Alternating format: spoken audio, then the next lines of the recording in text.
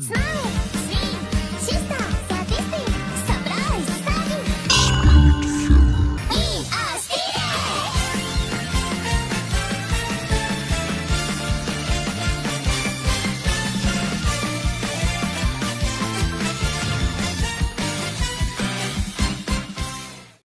First thing first, it's really hard for me to not spoil anything when I do this review.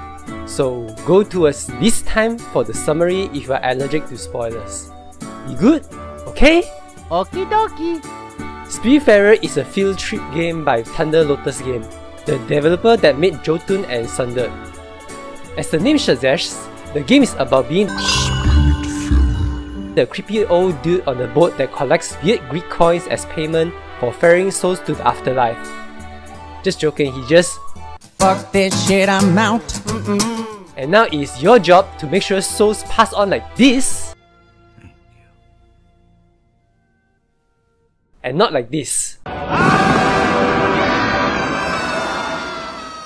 No pressure, as you don't really and aren't supposed to ferry every spirit you've met, only 11 for a spoiler reason. And that's good because each of these spirits either have a top tier character development or a god tier of it. The game will not be the same if any of the spirits that were on my boat is removed. That's how good the character is.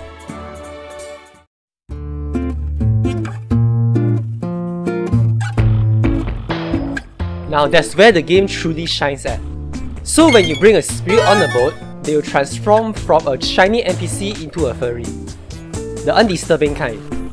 All of them has their own long unique quest line to do that reveals more of their past, regrets and desires.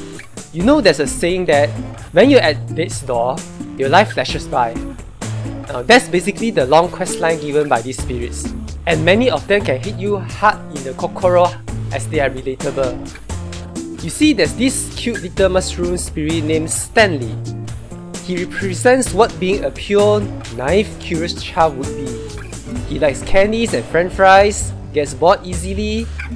If you make him happy and like you, he'll start to follow you around, just like any child would. He also say a swear word without knowing it, and this relates to me pretty well because short story, when I was in primary school, a classmate of mine suddenly went, Oh teacher, she say F-U-C-K! Then innocent old me was like, what is F-U-C-K? And then I proceed to spam it for shits and giggles, S-U-K, F-U-C-K, F-U-C-K! I was sent to the discipline office that day. It's still funny every time I think about it though. Then there's this nerdy green parrot-like thingy that likes pizzas and dragons, who has an unclean bedroom but keeps his figurine in order. That's my dream bedroom. You could say that he is my spirit animal.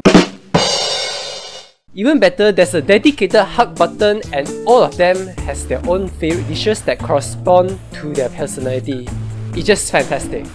The spirits on my boat are pretty much alive to me. It's as alive as the world you will be traveling here in the spirit realm.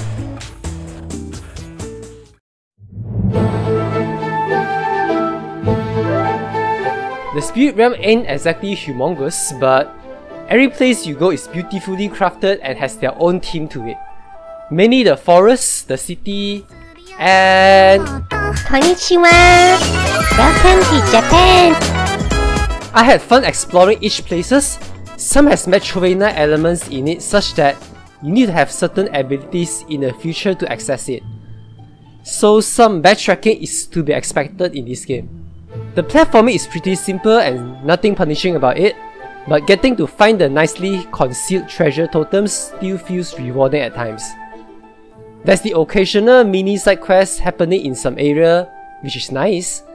In general, exploration on land is usually interesting and chill. On land, because on the boat is a different story.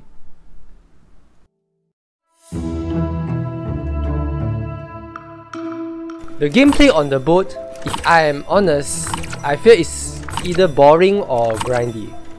Let's talk about all the events on the map first. There's a lot. Many which is available to play after you have the representative spirit on your boat. The thing is, all of them are pretty much the same, that is, running around your boat to touch your objective. You go from touching jellyfish to lightning to fireflies to sh all of them are really just chasing different objects. That's not really much new mechanics and your boat is your platform, so it gets kinda stale really fast. Is it beautiful and aesthetic? Fuck yes, I give that a 9 out of 10. But is it worth replaying this minigame? I doubt that. It's artistically and conceptually amazing, but all of the gameplay seem to be either oversimplified or missed opportunity. For example, this one here you has you chasing ghosts around the boat, with sort of like a ghost vision. They could have instead make the ghost vision a toggle button like press E to turn on and off during the minigame, such that when it's off, you can't see the ghosts but they don't run away from you. And when you press it on, it loves to see it but they'll go ah and run away after 0.2 seconds or something. But for now, it's just another generic chasing stuff minigames like the rest. Even a simple modification like catching jellyfish with a net like SpongeBob, instead of just walking towards them, would have made a much interesting option. Then there's your boat buildings. You know how people joke about why are we enjoying farming, fishing, doing chores in general in video games, but then when you do it in real life, you hated it. That's 50% of the gameplay here.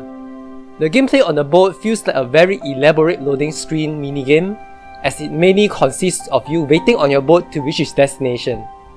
And then during that time, you'll water the plants, quest a lot, one by one. Water the plants. Crush your minerals. One by one.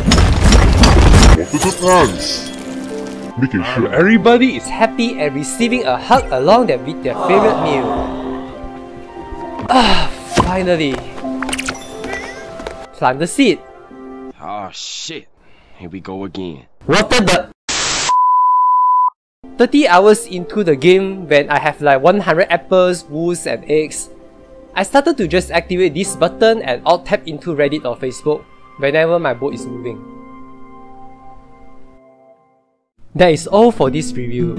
It has a wonderful cast of characters that prove quality is far more important than quantity, and a bunch of grinding tasks that proves exactly the same thing. The aesthetic and music of this game is just phenomenal, it's fantastic. It's a game that perfectly emphasizes the phrase, don't be sad because it's over, be glad that it happened. It definitely touched my heart and perhaps caressed my very soul too. Because of that, I'll be giving it an 8 out of 10. Wow. Could have been 9 if it weren't so grindy. Thank you Thunder Lotus for this game. Do like and sub if you like it. See you next time.